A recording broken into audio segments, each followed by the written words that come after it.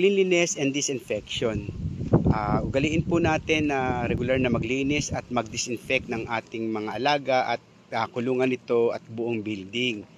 At uh, tsaka, syempre, uh, tandaan natin na kapag malinis at nakadisinfect ang ating paligid at ang mga kulungan natin at alaga, uh, syempre, maiiwasan natin ang magkaroon ng sakit o ma-minimize ang mga sakit at magkaroon ng hawaan o magkahawa sa buong alaga.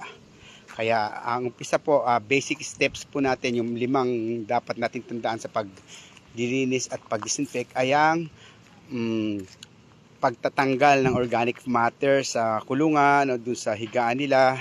Yung galiin natin, lagi nating tanggalin, ikahig natin yung mga dumi nila. Alisin kung maaari, hindi na pwedeng nahihigaan palagi mga tae-tae, ihe, ayan. And then syempre, gagamit tayo ng detergent o sabon. Kasama na natin yun sa spray gun para mas madali yung malinisan pagkatapos nating uh, matanggal yung mga dumi-dumi. Saka na natin siya uh, tirahin ng water spray gun na may sabon. Siyempre, yung number 3 babalawan natin. O, di ba? Number 3. O, number 4 naman, yung i-dry na natin siya.